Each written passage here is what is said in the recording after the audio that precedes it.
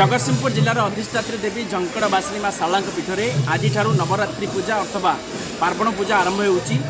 ଏହି ପାର୍ବଣ ପୂଜା ଚଳିତ ବର୍ଷ ସତର ଦିନ ପଡ଼ୁଛି କିନ୍ତୁ ଷୋଡ଼ଶ ଉପଚାର ପୂଜା ଯେଉଁ କରାଯିବ ବିଭିନ୍ନ ପ୍ରକାର ନୀତିକାନ୍ତି ରହିଛି ତନ୍ମଧ୍ୟରେ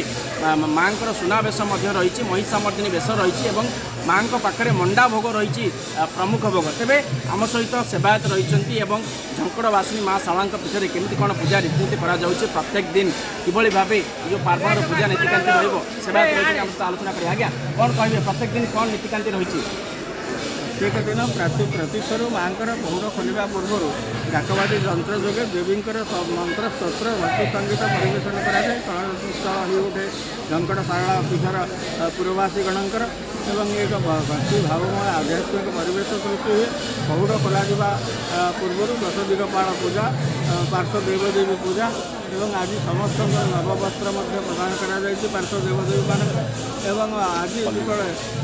বহুত কলা গলা মধু স্নান করা গলা তারপরে অর্জুনায় প্রস্তুত চলিলা অর্জুনার পরিবাপরে অভিনব বেশে মানকে সজ্জিত করা করা এবং তার সাথে নানা প্রকার সোনা অলংকার মণ্ডিত করা যা পরে সর্বপ্রথমে যরনা আসন করে মহা প্রসাদ সমর্পণ ତାପରେ ଦୈନିକ ପାଞ୍ଜି ପାଠ ହେଲା ସୂର୍ଯ୍ୟ ପୂଜା ହେଲା ଏବଂ ବିଶ୍ୱଶାନ୍ତି ଯଜ୍ଞରେ ଆହୁତି ପ୍ରଦାନ ପୂର୍ବରୁ ସପ୍ତଶତୀ ଚଣ୍ଡୀ ସମୂହ ଚଣ୍ଡୀପାଠର ମନ୍ତ୍ରଧ୍ୱନିରେ ମାଆଙ୍କର ପବିତ୍ର ପୀଠ ପ୍ରକମ୍ପିତ ହୋଇଉଠିଲା ଏକ ଆଧ୍ୟାତ୍ମିକ ଭକ୍ତିଭାବମୟ ପରିବେଶ ସୃଷ୍ଟି ହେବାର ଆମେ ଦେଖିବାକୁ ପାଇଲୁ ପରେ ପରେ ପ୍ରଥମ ପ୍ରହର ଧୂପ ବସିଲା ଦ୍ୱିତୀୟ ପ୍ରହର ଧୂପ ତା ପୂର୍ବରୁ ବଡ଼ ସିଂହାର ଷୋଡ଼ଶୋପଚାର ପୂଜା ପ୍ରତିଦିନ ପଞ୍ଚପଚାର ପୂଜା ଚାଲିଥିବା ସମୟରେ ଏହି ପାର୍ବଣ ସମୟରେ ଷୋଡ଼ଶୋପଚାର ପୂଜାର ପ୍ରଚଳନ ଆବାହମାନ କାଳରୁ ପ୍ରଚଳିତ ହୋଇ ଆସୁଛି ଯାହା ହେଉ ସନ୍ଧ୍ୟାବେଳେ ମଧ୍ୟ ମାଆଙ୍କର ଅପୂର୍ବ ସନ୍ଧ୍ୟା ଆରତୀ ବେଶ ଦର୍ଶନ କରିବା ପାଇଁ ସହସ୍ରାଧିକ ଶ୍ରଦ୍ଧାଳୁ ଭକ୍ତଙ୍କର ସମାଗମ ଏଠାରେ ଦେଖିବାକୁ ମିଳେ ରାତି ନଅଟା ବେଳେ ପ୍ରତିଦିନ ସମ୍ପୂର୍ଣ୍ଣ ସୁନାବେଶରେ ମା ଶ୍ରଦ୍ଧାଳୁ ଭକ୍ତମାନଙ୍କୁ ଦର୍ଶନ ଦିଅନ୍ତି ଷଷ୍ଠୀ ନବରାତ୍ର ଠାରୁ ମାଙ୍କର ଚଳନ୍ତି ପ୍ରତିମା ଏକ ସୁସଜ୍ଜିତ ମଣିମୟ ବିମାନ ଆରୋହଣ କରି ନଗର ପରିକ୍ରମାରେ ଯାତ୍ରା କରନ୍ତି ପ୍ରଥମ ଦିନ ପାଚେରୀକଣ ବାଟ ଦ୍ୱିତୀୟ ଦିନ ଗୋବିନ୍ଦଜୀଙ୍କ ମଠ ତୃତୀୟ ଦିନ ପାରଳା ପରଶୁରାମ ଭେଟ ପଞ୍ଚମ ଦିନ ଗୁପ୍ତ ଚନ୍ଦ୍ରଭାଗା ନଦୀର ବିଶ୍ୱମ୍ବର ଘାଟ ଏବଂ ଷଷ୍ଠ ଦିବସରୁ ଦଶହରା ପର୍ଯ୍ୟନ୍ତ ବଡ଼ଶାରଳ ଗ୍ରାମର ପ୍ରାଚୀନ ଲଣ୍ଡାଦୋଳ ପୀଠକୁ ଯାତ୍ରା କରନ୍ତି ସେଠାରେ ପୂଜାର୍ଚ୍ଚନା ପାଇବା ପରେ ସ୍ୱପୂଜକୁ ପ୍ରତ୍ୟାବର୍ତ୍ତନ କରନ୍ତି ଏବଂ ଷଷ୍ଠୀ ସପ୍ତମୀ ଅଷ୍ଟମୀ ଦିନ ସନ୍ଧ୍ୟାବେଳେ ମହିଷମର୍ଦିନୀ ବେଶ ହୁଏ ମହାଷ୍ଟମୀ ଅକ୍ଟୋବର ଦଶ ତାରିଖ ଦିନ ସେହିଦିନ ଏହି ପୂଜାର ପରିସମାପ୍ତି ହେଉଥିବାରୁ ରାତ୍ର ତିନିଟା ବେଳେ ସନ୍ଧି ପୂଜା ବସେ ଅତୀତରେ ସେହି ପୂଜାର ଏକ ଜୀବନ୍ତ ମହିଷ ବଳି ପ୍ରଦାନ କରାଯାଉଥିଲା କଣ୍ଟାଗଡ଼ ରାଜା ଥିଲା ଆପଣ ଯାହା ବର୍ତ୍ତମାନ ଅଧୁନା କଣ୍ଟାପଡ଼ା ହେଇଛି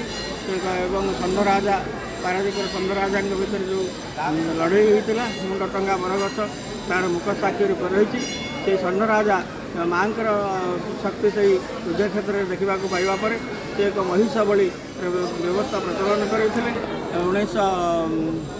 ଉଣେଇଶହ ଛବିଶ ମସିହାରୁ ଏ ଅଞ୍ଚଳର ଜଣେ ସ୍ୱାଧୀନତା ସଂଗ୍ରାମୀ ଏବଂ ପୂର୍ବତନ ବିଧାୟକ ସର୍ବଭାରତୀୟ ଶ୍ରମିକ ନେତା ନିଶାମଣି ଖୁଣ୍ଟିଆଙ୍କ ଗଣ ଆନ୍ଦୋଳନ ଫଳରେ ମହିଷ ବଳି ବନ୍ଦ ହୋଇଛି ଉଣେଇଶହ ଚଉବନ ମସିହାରେ ମଧ୍ୟ ଶାରଳା ମନ୍ଦିରରେ ହରିଜନ ପ୍ରବେଶ ସ୍ୱର୍ଗତ ଖୁଣ୍ଟିଆଙ୍କର ଉଦ୍ୟମରେ ହୋଇଥିଲା ତେଣୁ ଏକ ସାର୍ବଜନୀନ ସାରସ୍ୱତ ପୀଠ ଭାବରେ ମାନ୍ୟତା ଲାଭ କରିସାରିଛି ଦୁଇହଜାର ପନ୍ଦର ମସିହାରେ ଏହି ଶାରଳା ପୀଠରୁ ତିର୍ତ୍ତୋଲ ନିର୍ବାଚନ ମଣ୍ଡଳୀରୁ ଏଇ ଝଙ୍କଡ଼ ମଣ୍ଡଳରୁ ତିନି ବ୍ରହ୍ମଦାବରୁ ଯାଇକରି ବର୍ତ୍ତମାନ ଜଗ ପୁରୀର ଶ୍ରୀକ୍ଷେତ୍ରରେ ସିଂହାସନ ପୁରୀ ବିଦ୍ୟମାନ କରିଛନ୍ତି ଶାରଳାଙ୍କ ସମ୍ମୁଖରୁ ବଡ଼ ଭାଇ ବଡ଼ ଠାକୁର ବଳଭଦ୍ର ଦେବଜୀଙ୍କର ଏବଂ ଜଗ ଆମର ତିର୍ତ୍ତୋଲ र ଅନ୍ୟତମ ବ୍ଲକ ଜଗତ ରଘୁନାଥପୁରରୁ ହରିପଡ଼ିଆରୁ ମହାପ୍ରଭୁ ଜଗନ୍ନାଥଙ୍କର ଏବଂ ବିରିଡ଼ି ବ୍ଲକ ରଡ଼ଙ୍ଗଗଡ଼ରୁ ଯୋଗମାୟା ସୁଭଦ୍ରାଙ୍କର ଯାଇଛନ୍ତି ତେଣୁ ଏହି ପୀଠ ଏକ ଅନ୍ୟାନ୍ୟ ପୀଠ ଦଶହରା ଦିନ ସମାଜନୀ କଳସ ବିସର୍ଜନ ହେବା ପରେ ଏହି ଶାରଦୀୟ ପାର୍ବଣ ପୂଜାର ପରିସମାପ୍ତି ହେବ ନିଶ୍ଚିନ୍ତ ଭାବରେ ଶୁଣୁଥିଲେ ସେମାନେ ଯାହା କହୁଥିଲେ ସନ୍ଧି ପୂଜାଠୁ ଆରମ୍ଭ କରି ମାଆଙ୍କର ମହିଷାମର୍ଦିନୀ ବେଶ ବିଭିନ୍ନ ପ୍ରକାର ପୂଜା ନୀତିକାନ୍ତି ରହିଛି ଆମ ସହିତ ସଦାଳୁ ରହିଛନ୍ତି ତାଙ୍କ ସହିତ ଆଲୋଚନା କରିବା କ'ଣ କହିବେ ମନ୍ଦିର ଆସୁଛନ୍ତି ଏବଂ ଦେବୀ ସର୍ବଭୂତେଷୁ ବିଦ୍ୟା ରୂପେଣ ସଂସ୍ଥିତ ନମସ୍ତସ୍ତେ ନମସ୍ତସ୍ତେ ନମସ୍ତସ୍ତେ ନାରାୟଣ ଯେତେ ଶକ୍ତିପୀଠ ଅଛି ଓଡ଼ିଶା ମଧ୍ୟରେ ତାହେଲେ ଶାଳାପୀଠ ଅନ୍ୟତମ ଏବଂ ଅଭିନ୍ନ ଏଇଥିପାଇଁ ଅଭିନ୍ନ ମା ଶାଳା ଏକା ଇଏରେ ଶକ୍ତିଦାତା ବିଦ୍ୟାଦାତା ଏବଂ ଅନ୍ନଦାତା ବୋଲି ଆମେ ଚିନ୍ତା କରୁ ସେଥିପାଇଁ ସିଏ ଆମର ଇଷ୍ଟ ଦେବୀ ଆମେ ରାତି ପାଇଲେ ଆସୁ ଏଠି ଏବଂ ଏଇ ଯେଉଁ ଷୋହଳ ଦିନର ପୂଜା ଅଛି ଏକାନ୍ତ ଯାହା ରମାବାଇ କହୁଥିଲେ ଯେଉଁ କଣ୍ଟାପଡ଼ା କଥା କହୁଥିଲେ ମୁଁ ସେଇଠିକାର ବାସିନ୍ଦା ତ ଆମର ସେ ପୂର୍ବ କଥା ଅନୁସାରେ ଆମେ ସମସ୍ତେ ପ୍ରାୟ ଆଇଁଷ କେହି ଖାଉ ନାହିଁ ମୁଁ ଶୁଦ୍ର ଭୁବନେଶ୍ୱର ରହୁଥିଲି ମଧ୍ୟ ପ୍ରତ୍ୟେକ ଦିନ ଆସି ଦର୍ଶନ କରିକି ଯାଇ ସବୁ ଷୋହଳ ଦିନ ଯାକ ଆସୁ ଏବଂ ଗୋଟେ ଦୁଃଖ ଆଉ ପରିତାପର ବିଷୟ ଯାହା ପୂର୍ବରୁ କହୁଥିଲି ମାଟିସ୍ ଅନ୍ୟମାନେ କହୁଥିଲେ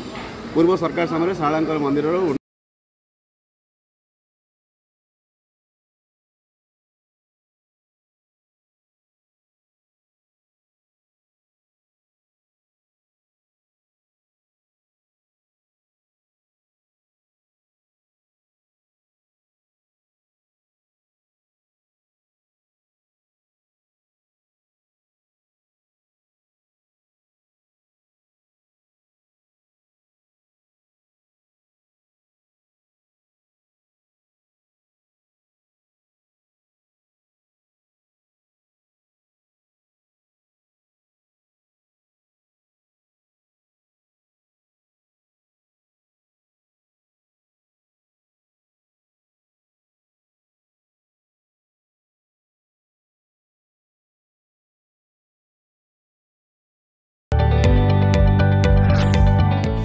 जदि आपण को आम भिड्टे भल लगा तेब आम चेल्क लाइक सेयार और सब्सक्राइब करने को जमा भी बुलां नहीं